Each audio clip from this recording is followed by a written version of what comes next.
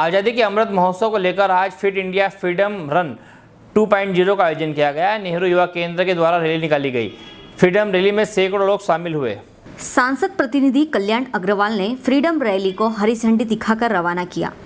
Fit India freedom rally शासकीय महाविद्यालय से शुरू होकर कुंदा तट गणेश मंदिर तक शहर के प्रमुख मार्गों से निकली।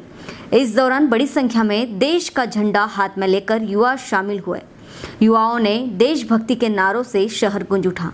सांसद प्रतिनिधि कल्याण ने मीडिया को बताया कि प्रधानमंत्री नरेंद्र मोदी की सोच है कि भारत को हर क्षेत्र में, स्वलंबन हर क्षेत्र में फिट होना चाहिए। आज़ादी के अमृत महोत्सव के आयोजन से युवाओं को देशभक्ति की प्रेरणा मिलेगी। इधर नेहरू युवा केंद्र की जिला समन्वयक पूनम कुमारी का कहना था कि आज़ादी की पिचहत्तरवीं वर्षगांठ को लेकर प्रधानमंत्री जी की सोच है कि युवा फिटनेस को महत्व दें। व्यस्तता के दौर में आज का युवा फिटनेस पर ध्यान नहीं देता है। सोशल मीडिया पर ही व्यस्त रहता है। इस आयोजन से युवाओं को फिटनेस को लेकर प्रेरणा मिलेगी। खरगोन से जयंत गुप्ता की रिपोर्ट। भैया जिस प्रकार से अमृत महोत्सव को लेकर ये आज जो रन फॉर फ्रीडम को लेकर निकाली जा रही अ, क्या मानते हैं आप क्या सोचते हैं? हमारे देश की आज़ादी को पचहत्तर वर्ष पूर्ण होने पर प्रधानमंत्री नरेंद्र मोदी द्वारा अमृत महोत्सव पूरे वर्ष आज़ादी का ये महोत्सव मनाया जाएगा।